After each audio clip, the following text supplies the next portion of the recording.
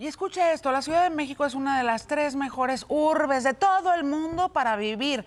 En Internation's Expat City Ranking 2022 destacó su dinámica económico-productiva y su proyecto integral de infraestructura sostenible, la realización de obras en zonas populares y el fomento integral a la educación en beneficio de la competitividad y el desarrollo de sus ciudadanos.